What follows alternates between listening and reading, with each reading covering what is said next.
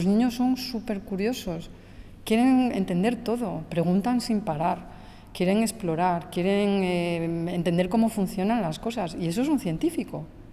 O sea, són científicos en potència. El que es tracta és de què? de que juguin, de que facin, de que toquin, de que vegin, d'anar, eh, de visitar llocs, museus, tal, eh, estar en contacte amb els continguts. És entender, entender algo. ¿Cómo funciona esto? ¿Cómo, ¿Por qué, incluso si es una enfermedad, por qué aquí, qué ha dejado de funcionar? ¿Cómo se podría remediar? Y un niño es lo que tiene.